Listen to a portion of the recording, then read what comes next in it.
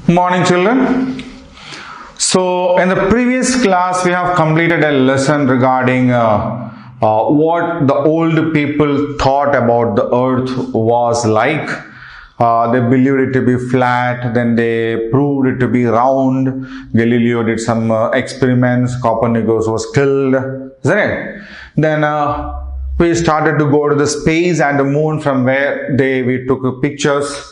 Even before that, Magellan went around the earth to prove that earth is round in shape. So now we have got an idea about the earth. Now, earth is very big, isn't it?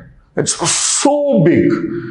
What we see on the earth is if this is a this board is the earth, if this board, the entire board is the earth, what we see around us is just this much, just a dot.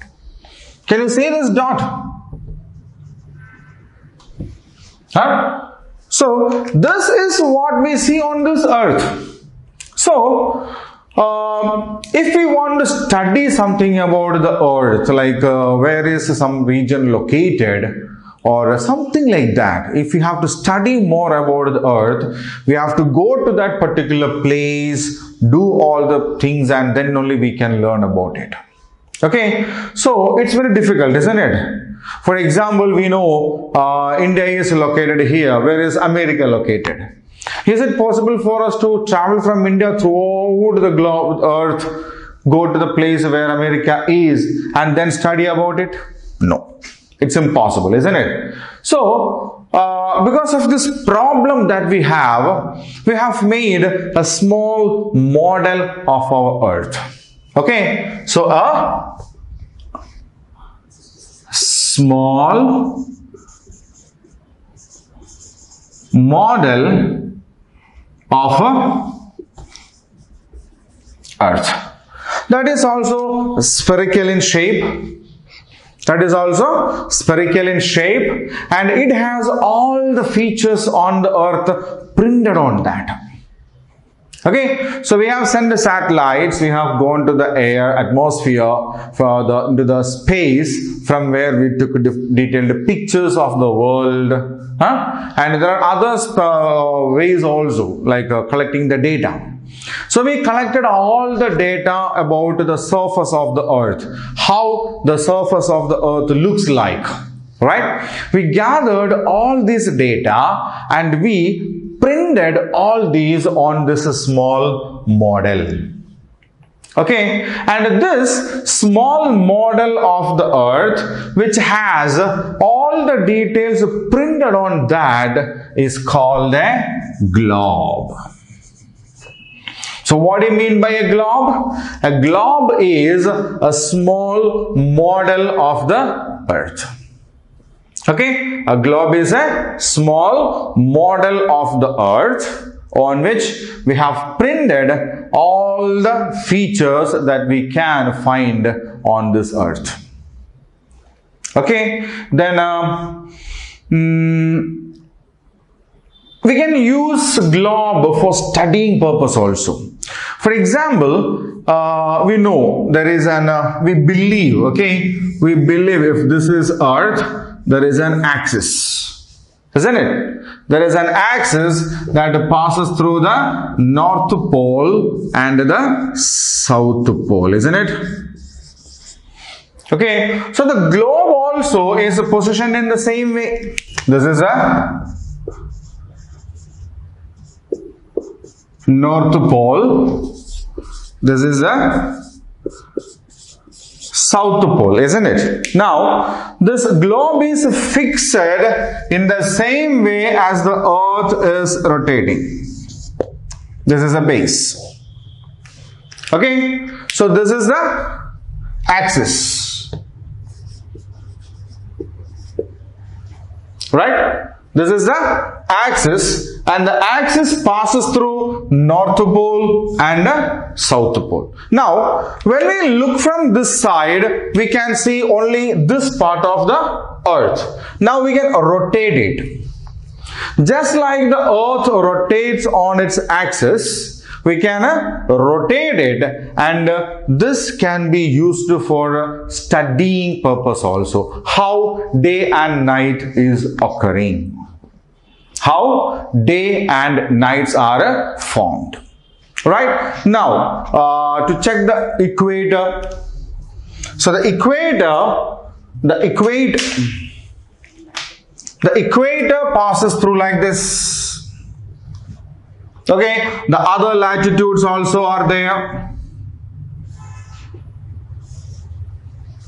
Right? So it has all the latitudes marked on that. It has all the longitudes marked on that.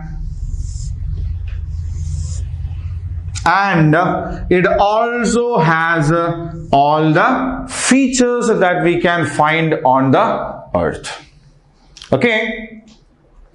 So we know the earth rotates in which direction in which direction does the earth rotate? From a west to east.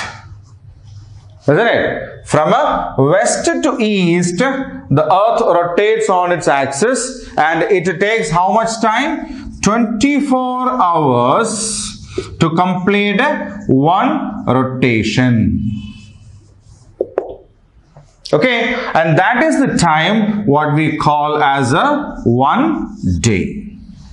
So what is one day? One day is the time taken by the earth to complete its uh, rotation. One complete rotation on its uh, axis.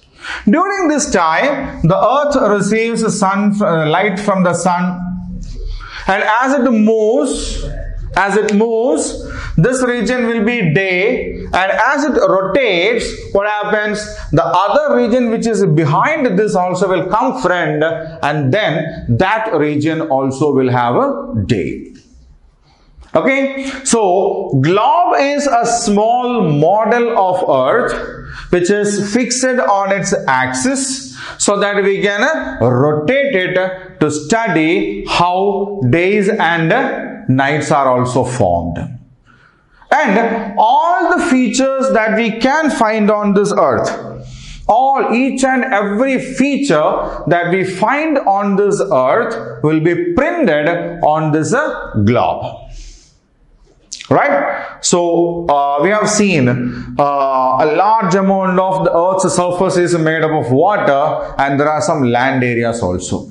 All the land areas all the water bodies oceans seas everything will be printed on this globe Okay, so it is almost in the same shape of the earth itself so that we can understand how earth rotates, how the earth is shaped, which areas are found in which part of the world, everything.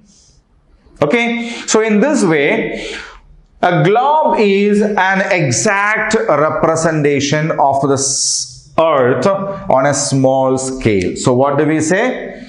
The globe is an exact representation of the earth you know, on a not in on a small scale okay so all this very big and the entire features on this big earth is brought into a small body so that we can keep it in our hands, rotate it, move it, learn it and study about it.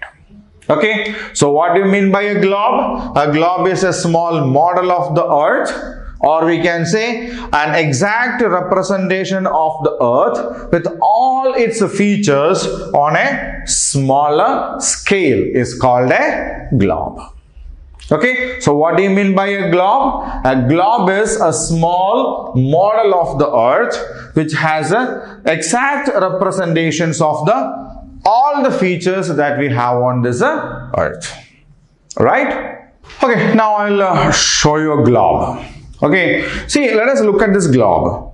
See, some part of this globe is colored in a blue and some part of that is colored in a brown, isn't it? See, closely look at this. Okay, I'll enlarge it and show you.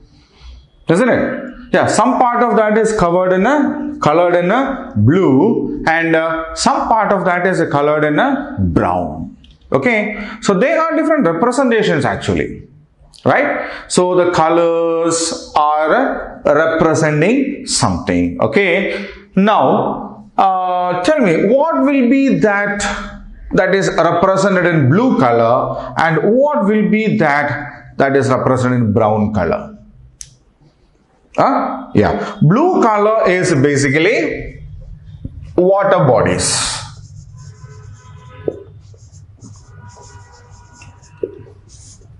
Blue color water bodies. And uh, brown color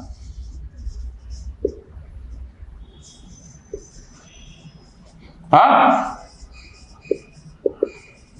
continents and uh, land areas okay so mm, on the globe, what we have seen in the blue color actually are the water bodies. And what are the major water bodies that we have? Oceans and seas. Okay, so oceans and seas are the major water bodies that we have on this earth. Right now, what is an ocean?